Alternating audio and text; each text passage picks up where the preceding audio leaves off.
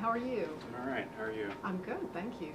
I have an assignment that I want to do for my students. I want to make an activity plan, and I want to do it on spiders in, Okay. in a creative way. I was wondering if you could help me through the IMC. I can. Have you used the IMC before for anything? No.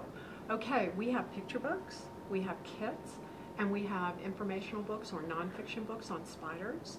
Um, why don't we look in the catalog to see the resources, the list of resources that we have, and you can choose what you want to use. Sounds great. I've never used Catalog before. Can you help me? I can show you how to use it. If you come around the desk, we'll pull up the library homepage and we'll go from there.